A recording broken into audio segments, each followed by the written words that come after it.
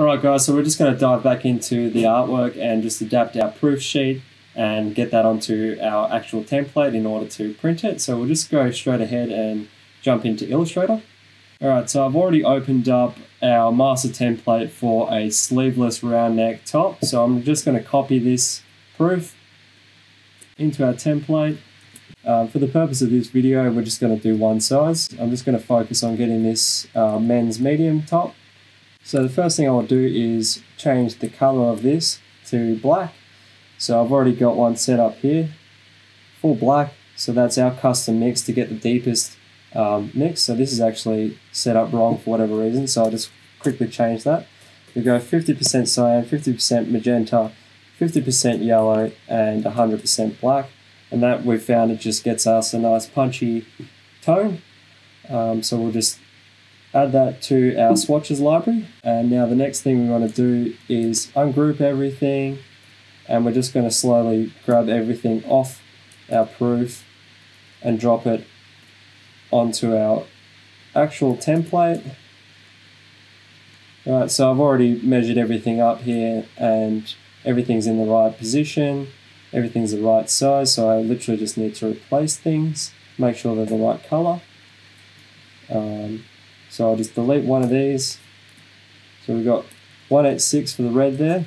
So I'm not even going to bother to drag that across. I'll just use what I've got here because I know it's the right size and everything. So I'll just select all this and just drop in our red color. Alright, so next thing would be getting the actual design on to the template. Grab all this and group it. I'll just group that, copy it.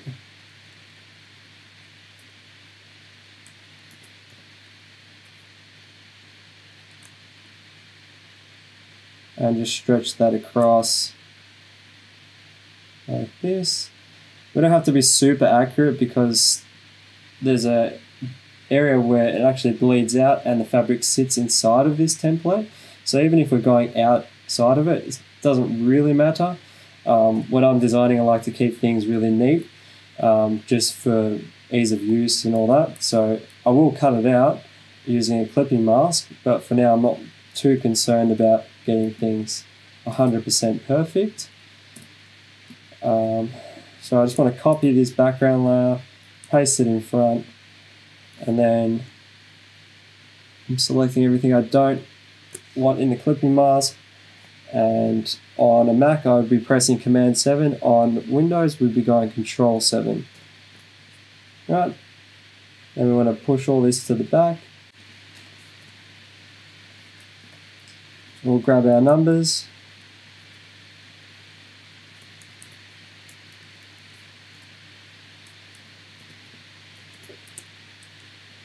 So we want these at the right size, so the right size is 150 mil uh, for the front number.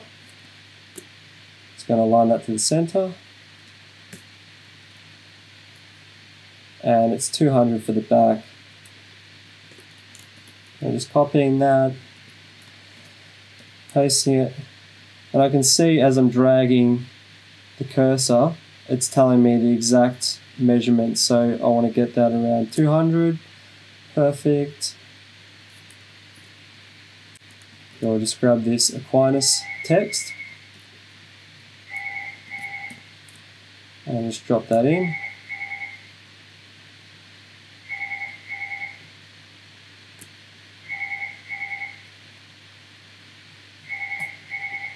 Right, and everything seems a bit low, so I'll just drag everything back up.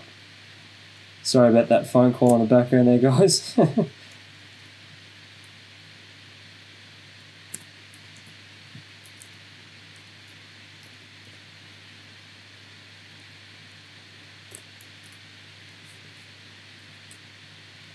So our Joust logo, we want that about 100 mil wide.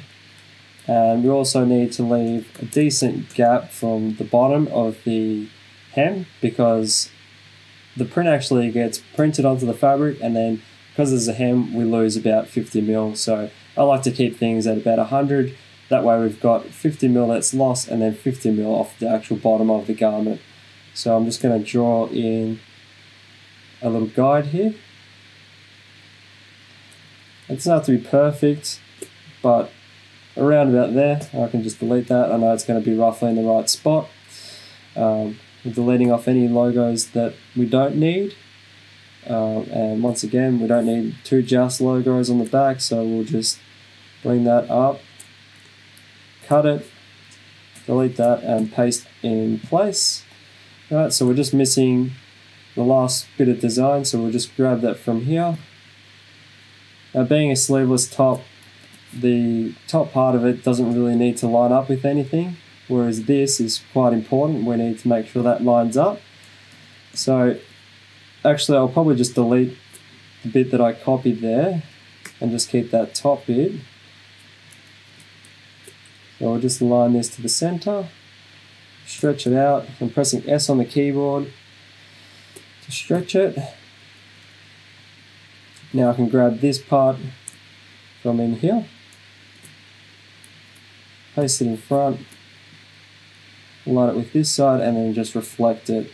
Once again, we can do our clipping mask just to make things look neat. Not essential, but it does help to line things up on the press.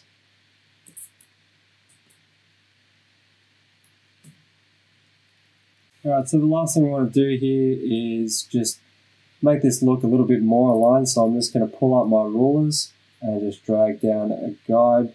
As I said to you earlier, it doesn't need to line up because the seam isn't going to meet. Uh, but as we can see there, that's pretty far out from where it should be. So I'm just going to select all these parts here.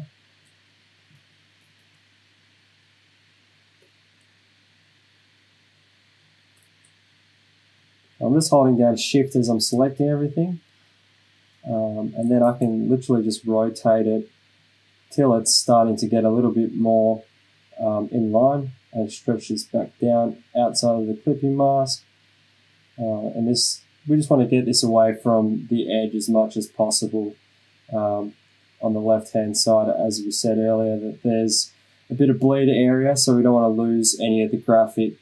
Um, I could even just grab this part and move it in a bit further um, the screen does lie a bit how it looks as a printed top opposed to on the screen. It's two very different things. So we want to try and keep the artwork as good as possible.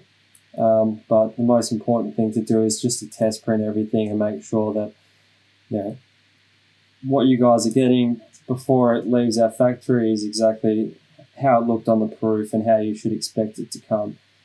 Um, so pulling this back out, uh, I can just stretch this back down. Cool. So that's really it. Um, finish off, we'll just get two of the same number. Um, let's grab this too. Let's zoom into the Joust logo. We don't need that on the front, so I'm just going to delete that. I'll just resize that to suit a front number. Let's get that there. Delete, delete, and we just want to get that at 150. It's not far off it, we can get it exact by putting in the exact measurement in the transform tool. All right, so that top is officially set up. Just want to make sure we're just looking over things. Um, to me, the last thing that looks a bit off is this size for the Joust logo here compared to this one it just looks miles bigger. So I'm just going to reduce that back by about 10%. So I drop that down to 90. Um, and I might just give this one a little bit more size. Not much, just 5%. It is a much smaller area up there. Alright, so things are looking pretty good. Um, yep, and final thing, the actual height of that, just want to do some fine tuning here. Right. I'm just going to draw a box for a guide. Yep. Copy that across.